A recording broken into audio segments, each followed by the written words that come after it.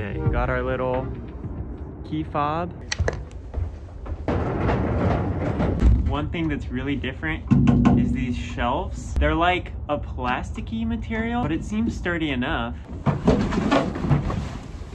Also, it's really nice that there's two sets. In the normal cargo vans, there's only one set. In the back here, the shelves actually fold up and down. So like I have the dolly right there. I can just fold up the shelf and that's plenty of room. This step is awesome. It's super grippy. All right, we're loaded up and ready to go. I have a weird route today, so I'm not even close to full, but you can kind of already get an idea of how much stuff you can fit in here. Top shelf, middle shelf, all that space too. And there's still plenty of space to walk. We're headed to our first stop. Okay, hopefully this is recording. This van definitely takes some getting used to as far as all the tech and all the features and where all the buttons are. It's like you feel like you should be hurtling along on this giant metal box and it doesn't really feel like that at all. Heated steering wheel is amazing. This little guy is cool. It's like the 360 view. So far so good. Oh yeah, and when you hit park, cargo door opens. You put it in drive, it closes. One thing I've noticed that's a little bit annoying. I don't think there's a way to open this from the inside, so you have to go into the screen. Maybe I'm missing something. This is a total game changer. This door right here. You're driving, you get up, get those packages, and you're out the door. And you're out the door. My phone actually synced. So instead of using this delivery device, I can just use this. Now I can use this or this, and I don't really even have to worry about using my phone. I can just put it right here. And that's a charger. I've had my personal phone on there. This is my work phone. It has a little bit thicker case. It doesn't work. But that's okay. I'll just charge my personal phone. It's crazy. All the alarms. Like, look, there's a person right there, and it just let me know. Let's see how this thing does at parking illegally. Just kidding but not really. Hazards, put it in park, and there's no emergency brake, which is weird. It's just park is park. One interesting little fact. This is the key fob. There's only two buttons, but there's actually a secret hidden key just in case. So it goes right in the bottom and it just snaps in like that. You'd never even know, it's right there. This is awesome too. I really like this. Here are my stops for today. Here's my next one. If I press that, and then press start.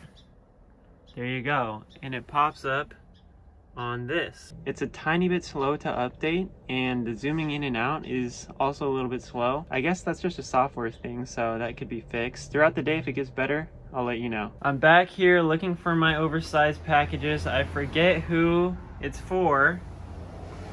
And right there I can see the address. So before you'd have to pull out your phone, check your phone, you can just literally get out of the chair, come back here, take a look at the screen, and you can see what the address is that you're looking for. So that's cool. I cannot for the life of me get this driver door to unlock. Like there's a button. I'll hit unlock on the fob. Oh. Maybe it's just sticky? I don't know. That's weird. I think that's supposed to be a feature that you walk up to the door and then whichever door you walk up to, either the driver's side, passenger side, or the rear, it'll unlock automatically. Can't tell if that's working or not. Just noticed that. That's cool. Here are my stops on the app, but here are my stops on the van. So the numbers don't quite line up, which is weird. I don't know if my phone is being slow and it's not updating. Here's a very important test. Does the Rivian work for snacks?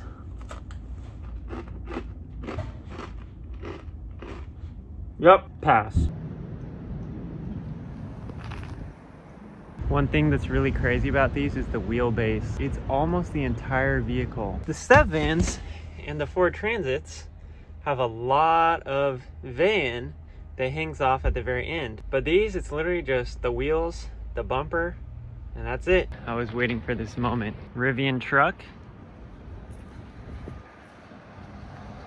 Rivian van.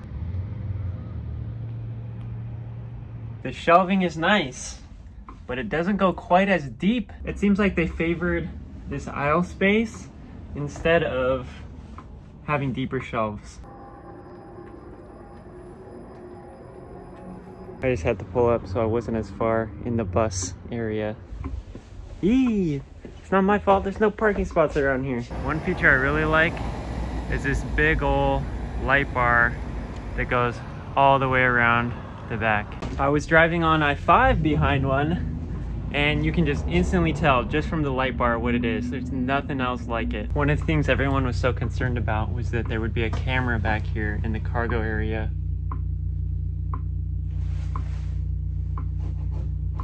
There's nothing in there. I just realized, huh, I've been doing the cargo door all wrong this whole time.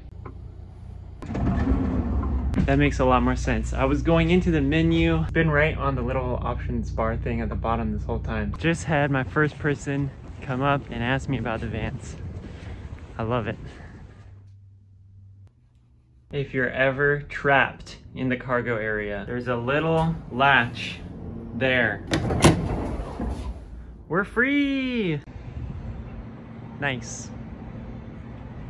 Space Needle. I've been seeing this all day I have no idea what it means. It's counting up, so I'm wondering if there was like a countdown to when this was supposed to be delivered, and then once it passed that, it started going up again. Just finished this part of my route. So I'm gonna point out a couple more interesting features on this van. This is where I sit all day. Window goes down.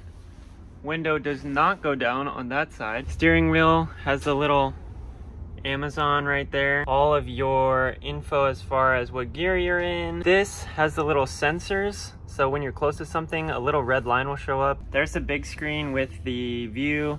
You can go like this if you want the view to be bigger. And then this is cool. This 360 view is way better than the step vans because I feel like the angle isn't as wide. It doesn't look all distorted. It's actually like proportional. All the heating options, heated steering wheel. Ooh, this stuff. Oh my god. We're gonna turn that down. There are defrost vents in the little window down there and also right here. So that's cool. It'll defrost all of these windows, which, by the way, this windshield is absolutely massive. There's that cargo door button I was talking about earlier. Oh, oh, it closes it too. Oh, wait. Oh, yeah, it opens and closes it. That's cool. Seat heater, very nice. There's some menu here. Bulkhead door. See, this is what I was doing before. I was going all the way into this menu. Anyways, way easier to just hit it right there. Haven't messed with that, actually. Oh! Oh! Oh my god. Okay, did not know about that. That's cool. Oh, and look at that. 169 miles, nice. This I have yet to try, but Seems like a good idea in case you're stuck in the middle of the road. Side mirrors, if you want to adjust that, it tells you to adjust it on the steering wheel right here. It'll tell you right there too. I'm moving my finger up and down. See?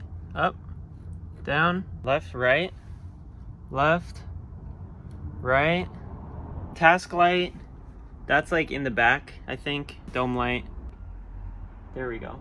There's all sorts of other options. I don't even know what all those do, so I'm not even gonna begin going into that. And I'm gonna try this on my way home and play some music. And you can lock the screen if you don't want to accidentally bump something, but I haven't had any issues with that. There's this button that I have no idea what it does. It's a camera? Nothing happens when I press it, so I don't know. And then that right there, SOS. So there's an option on the delivery device to contact emergency services.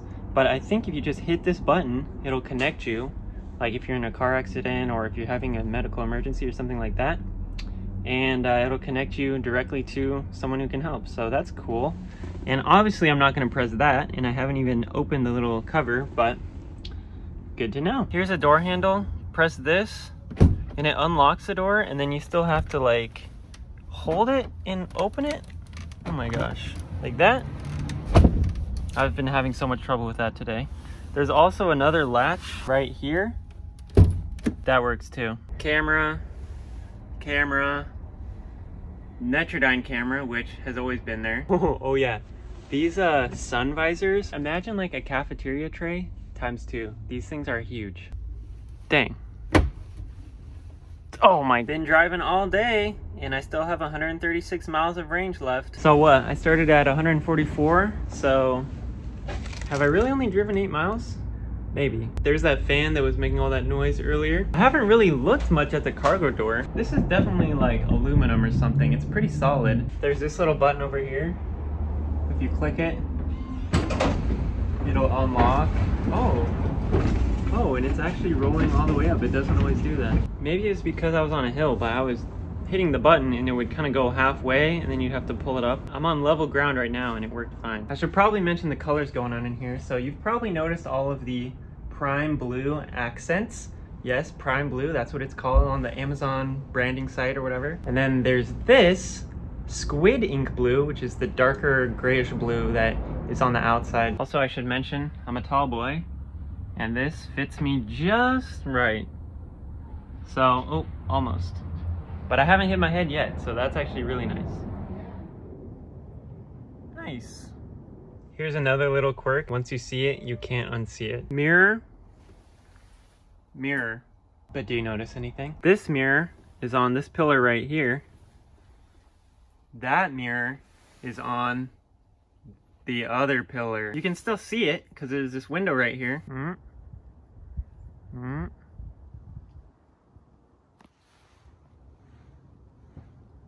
They're different. Somebody please help me open this door. Headed to our next stop. Let's do this. FedEx, look at my cool van. For this last little bit, I'm putting on the chest cam so you can see a little bit more what the workflow is like. So I'm pressing start on my app and it just started right there. Hopefully you can see that. I was having some issues, like I said this morning, getting it all synced up, but it's working flawlessly now. I feel like the turning radius on this thing was like a little overhyped. It just seems like with all these roundabouts and stuff, I'm just doing the same thing that I'd have to do in a normal transit. I do not want to be the one to scratch this. Okay, we're good. Dude, I love it. That dude just said, oh, it's one of the Rivians. you bet it is. Park. So it's parked. I don't have to do anything else. My packages that I need are right there. I'm gonna have to blur everything out, so bear with me, but got them already, good to go. Oh, forgot my phone. I still need this delivery app to scan everything and take a photo on delivery. Got you. There we go. Easy. So, updated on the screen now, which is cool. And then I'm gonna hit that to go back here. I'm gonna get my next few packages ready.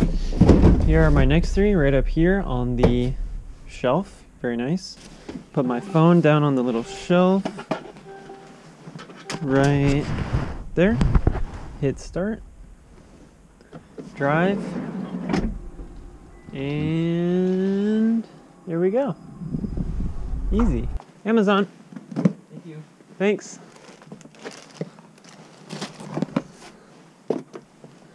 Nice. It's weird that the lights never turn off. I guess it's electric, so you don't need to worry about it running out of battery.